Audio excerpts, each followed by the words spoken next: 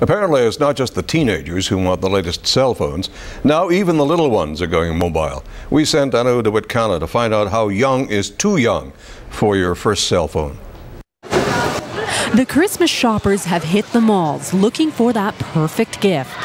If it's something for the little one that you're looking for, this just might be it. The Canadian Toy Testing Council says it's going to be one of the hottest toys this Christmas. It's the VTech Text and Chat walkie talkie for kids. For some kids as young as three, this will be their very first cell phone, albeit a toy.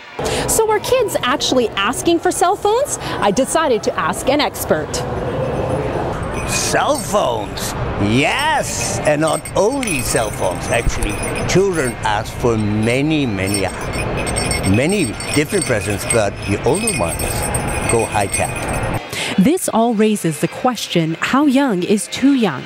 Carla Shore is a working mom. Her nine year old wants a cell phone partly for the games and apps. I think nine is way too young to have a cell phone. Not because a phone is something he shouldn't have, but because the rest of the screen stuff that comes with a phone. But is nine years old really too young? Audrey Van Alstein is with the North Vancouver School District. She's in charge of innovative learning. We see students as young as kindergarten or grade one, but typically it's kind of your grade three and four students. She says it's fine if parents want their kids to have phones at school. In fact, it can even be an educational tool. It's their computer in their pocket. And I think there's a lot of value as long as the teachers are ready to monitor it and the kids are respectful.